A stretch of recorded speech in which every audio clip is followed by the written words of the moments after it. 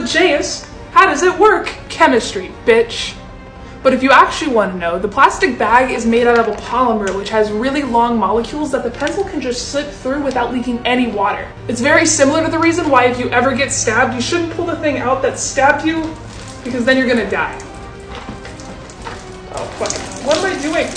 This is a bad idea.